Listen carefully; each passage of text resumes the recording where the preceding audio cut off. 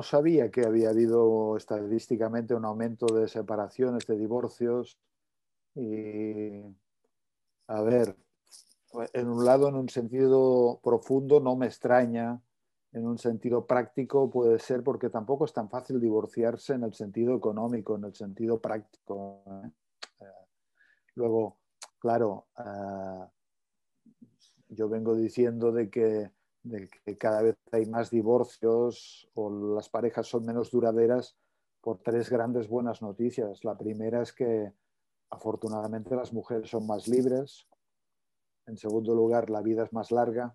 Cuando la vida era, la esperanza de vida era 50, 60, no, el formato de pareja era para toda la vida. Ahora tenemos muchas vidas dentro de una vida, ¿no?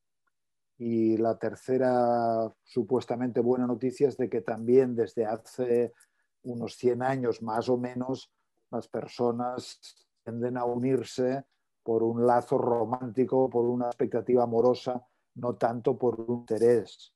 Y lo cierto es que desde la perspectiva de la durabilidad, cuando la pareja hay un interés, es decir, es por interés, duran más. No hay como en sociedades como la hindú, donde eligen los padres, no hay una expectativa romántica, sino que la pareja trata de encajar en moldes establecidos por los requerimientos sociales. ¿no? Y aquí es donde sí ha habido una evolución de la pareja, de lo que podríamos llamar la pareja premoderna, donde pareja premoderna lo que prevalece es el grupo, es decir, la pareja está al servicio de los requerimientos grupales, de la supervivencia, de las familias en un sentido amplio, es decir, no hay tanto, la, pareja sirve al grupo, podríamos decir, ¿no? Luego la pareja moderna es cuando ya cada uno cada familia son las familias nucleares, viven en su casa, y entonces lo que sustenta la pareja podríamos decir que es el nosotros, que es los dos que están en pareja, y luego los hijos cuando vienen los hijos, ¿no?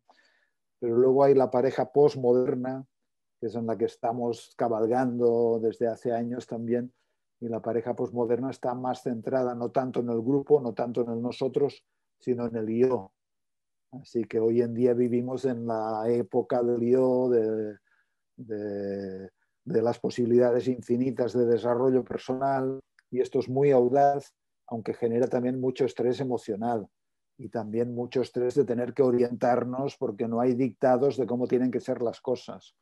Pero bueno, en la pareja entonces lo que se le pide es que satisfaga al yo y cuando esto no sucede, entonces se empieza a cuestionar la pareja yo creo que a veces ha sido rápidamente y debería de quedarse más bien con un nosotros y debería de integrarse también con un, con un grupal, porque es obvio que una pareja insertada en un grupo amplio tiene más fuerza, así que deberían de estar equilibrados ¿no? estos tres vectores que son grupo, nosotros y yo. Pero bueno, hoy en día vivimos en la era del yo.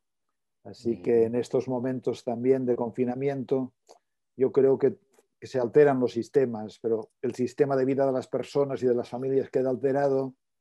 Y claro, no es lo mismo convivir X horas que el doble o el triple de horas. Eh, no es lo mismo, es decir, vivimos una vida más o menos un statu quo y, más o menos lo vamos sobrellevando. Entonces se altera este statu quo, una, una, variable del sistema en el que vivimos se altera, pues tiene repercusiones en las otras variables. Entonces me imagino que muchas parejas pues, se han visto llevadas a preguntarse, bueno, cómo nos llevamos juntos o pasando tanto tiempo juntos nos damos cuenta de que estamos poco interesados o nos damos cuenta de que nos llevamos mal o nos damos cuenta de que nos reflejamos cosas que no quiero asumir. Claro, la pareja también es un, lugar de trabajo personal. Una pareja nos espeja también muchas de nuestras sombras y hay que tener una cierta disponibilidad también para, para mirarse a uno mismo, para negociar, para entender, para clarificar, para desarrollar empatía hacia uno mismo y compasión también hacia uno mismo y hacia el otro.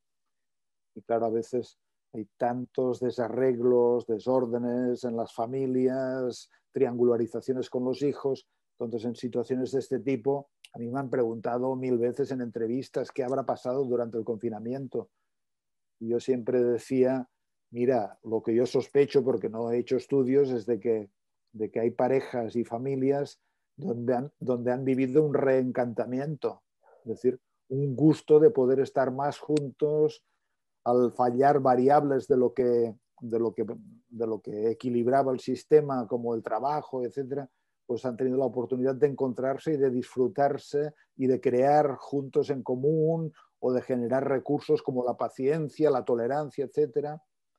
Y otras familias, pues, han sufrido verdaderas crisis y tensiones, violencias. Yo no he hecho, no, no, no sé las estadísticas, pero no tengo dudas de que ha aumentado la violencia dentro intrafamiliar en estos tiempos. Mm. Una amiga psicóloga israelí que trabaja ahí con chavales adolescentes me contaba de que el, algunos la llamaban con desesperación y con mucho temor de que los padres se dañaran entre ellos o llegaran a maltratos graves. ¿no?